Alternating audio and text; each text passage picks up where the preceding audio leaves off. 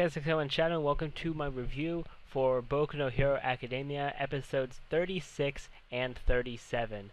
Now, I do apologize for th these not being separate. I had a lot of complications with getting uh, my review last week getting um, recorded, so I decided to just wait and um, review these two together and have kind of two for one review for um, for this. this. This should be going up on Tuesday. I've been having um, a lot of stuff go on lately with we have school and everything like that. But um, definitely, if you haven't seen either of these episodes, go watch them, especially the second one. But um, I'll try to make this as quick as possible and as thorough as I can make it in a short amount of time because I don't want this video to go to go on and on since my reviews are only about like 10 minutes in length usually, and this two two and one. And I know many people don't want to watch a 20 minute video of me just rambling here, but um, episode 36, just to start off with that, it's titled uh, "Stripping the Varnish," and it's really just um, the rest of the fights before Midoriya and Bakugo versus All Might. So this episode starts right where we left off, where Ochako and Aoyama are facing off against 13, and um, we get the aftermath of where um, Aoyama asks if Ochako like Deku. She kind of like Ochako kind of like just holds her face, like kind of like blushes and like grabs her face, and she flies at 13. But then she remembers her like her training with Gunhead, so she's able to knock down 13 because 13 had to stop using her quirk. So they were able to get the win on 13 there. The next up, which was probably um, tied for my favorite fight of the um, episode. There was one of the there's one of the fight that was really good in this episode that I really liked, but was Kaminari and Ashido versus Principal Nezu. And you wouldn't expect Principal Principal Nezu to um, really be able to do much because he's just his quirk is only that he's intelligent, and they reveal his quirk to be called um, High Spec, and basically um, it actually makes him strong. It makes him smarter than any human. So he's doing all of these like precise calculations just in his head, where um, and he's calculating. He's um riding a crane, so he's just knocking things down around him, and um, basically blocking off all the paths that they could possibly have to get to the um, escape gate, which is which is really good, definitely. Um, it was really cool to see that new layer of character on him because we've always seen him like sort of calm, collected, all that stuff, but he was turning kind of sadistic, which was pretty funny. And Recovery Girl's like, oh yeah, this is what happens when his um when he's interacting with humans, when he's like fighting humans like this. Um, Principal Nezu's um, inner self really comes out, but then um, he actually keeps stalling them until the time limit goes off, which is pretty funny. They're there for 30 minutes, which is a time limit, 30 minutes of um, Nezu just knocking everything down in their um, in their tournament area. Uh, well, not tournament, their test area. So um, Kaminari and Ashido they do end up losing because they ran out of time. So next up, which was my other really um, my other real favorite fight that happened. Well, it wasn't really a fight, um, just based of, because based on the quirks, but it is uh, Koda and Jiro facing off against Present Mike, which this is this was a really good one because um, Koda and Jiro both have sound quirks, where Jiro can um, sort of kind of amplify sound and has her um, earphone jacks, and then Koda can um, command animals. But Present Mike has like a super amplifying sound quirk, and they actually give a little tidbit on how Present Mike made his parents and the delivery doctor when he was born bleed through their ears, which is pretty dark, but um, it's kind of funny though because Present Mike seems like um, seems always so upbeat, so it doesn't really sound like him. But they have to try to figure out how, a way to beat Present Mike, and the, eventually the way they do it is to get bugs, which uh, is afraid of bugs, so he had to overcome that fear. And Koda actually talked in this episode, which is really amazing. So if you have, if you need really any main driving reason at all to watch this episode, other than the fact that it's a good episode, it, watch it because Koda talks, and it's the first time he's ever talked, and probably like one of the few rare moments that we'll actually see him talk. But um, but they actually they end up winning because Koda commands the bugs to go underground, and they go underground and they start swarming Present Mike, So he's not really able to do anything because he has all his bugs on him. So then the fourth fight of the episode, um, second last fight, was um, Shoji and Hagakure versus Snipe. This was a relatively fast fight um, because um, Shoji kind of like um, they they kind of they had to like trust each other without really talking out a plan because Hagakure kind of just disappeared because you know she is invisible and she took off her um, her gloves and boots. So um, Shoji kind of looked like he was giving up, but then um, Hagakure was able to handcuff Snipe, and they had a little moment where Snipe where Snipe kind of touched um, Hagakure and um, had the bounce joke, which is pretty funny. But then the final fight of, the, of this episode was uh, Sero and Mineta versus Midnight, and and Mineta gets automatically jealous of Sero because Sero gets hit with with uh, Midnight's quirk, which I'm forgetting the name of her quirk. It has um it has some name that's um kind of long. I may have it on the screen. I may not. I haven't taken the screenshots for the video yet, but um Mineta gets jealous because he touched because he touched um he touched Midnight's chest and um and then he, she was being his lap pillow basically. So they were so that was happening, and then Mineta has to like overcome himself because the only reason he wants to be a hero is because he wants to be um he wants to be popular with girls. So he was thinking um because his original thought process was that um was that heroes that people become heroes because they're cool, but um but actually what he what he figured out this episode was that cool people just become heroes, which is pretty cool.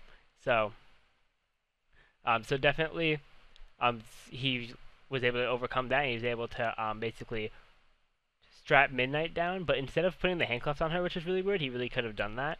Instead of putting the handcuffs on her when he um, when he locked her down with his um, with his special move, Grape Rush, instead of putting the handcuffs on her, he um, took Sero out of the scene and then went through the gate to um, to win the match. So that's it for um, that episode. It ends off with um, Midoriya and Bakugo going into their fight, um, going into their area to fight against All Might, which leads us into episode 37 titled Katsuki Bakugo Origin. Now, the title makes you know it's going to be a good episode.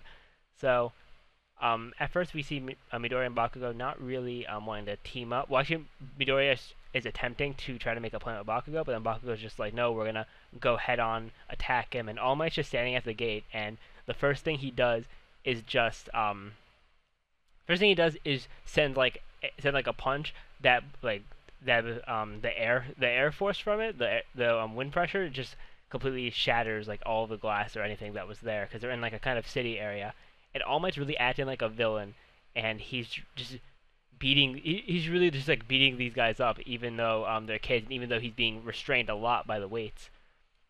So um eventually, like it shows some backstory on Bakugo and Bakugo, um, how Bakugo was j- a very big fan of All Might, like Deku was, and how um, Bakugo really liked how All Might would always win no matter what, and that's the kind of um, perception of a hero that Bakugo got. That a hero will always win in the end. So, um, eventually, Bakugo like loses his motivation, and he's like, "I'd rather lose than work with Deku." So Deku goes up and punches him and takes him away because All Might was about to finish him off, was about to finish Bakugo off and they come up with a cool plan. Um, Bakugo gives Midoriya one of his one of his um, gauntlet things on his hand, so that he can use Bakugo's power that was stored up into it. So they use that, and it has a and Midoriya comments out how it has a ton of recoil because when Midoriya used it, he because he's not used to using it. Bakugo's only used to using it. So when Midoriya used it, he had a ton of recoil on the shoulder, like pushed him back a ton.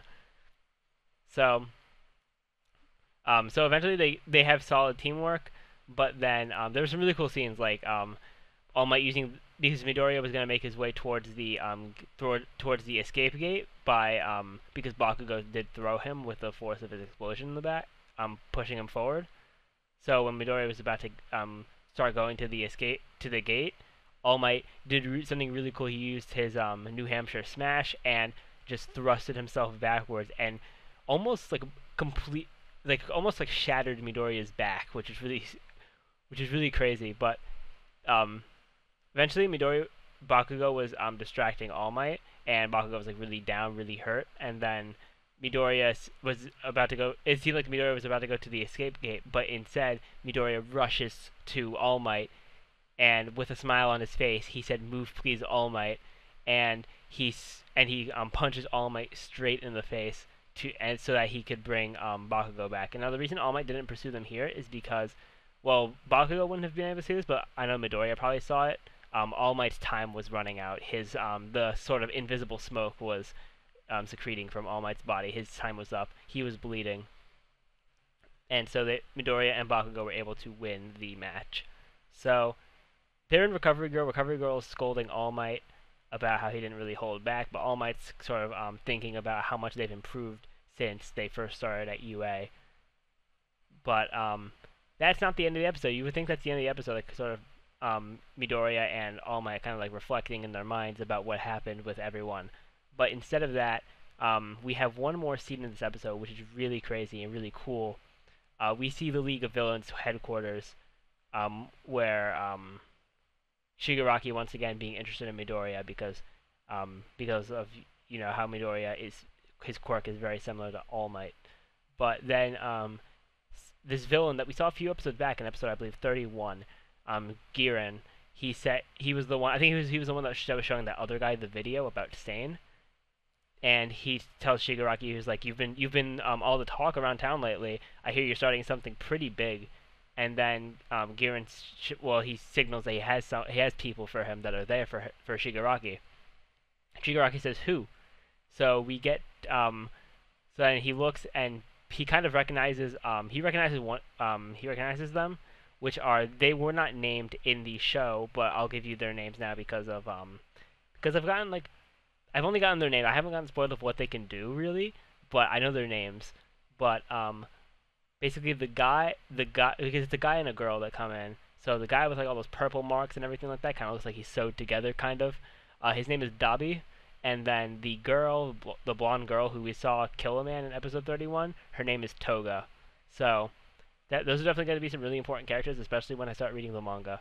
Um, I'm sure they're going to pop up, and um, that's the end of the episode. But then the final episode next week is going to be um, so it's going to be kind of interesting because they're because this, some of those kids from UA, a friend group like Midoriya, um, Ochako, Iida, like all of them, they're going to the mall. But Midoriya is going to have a little encounter with Shigaraki while he's out on that excur- excursion with his friends.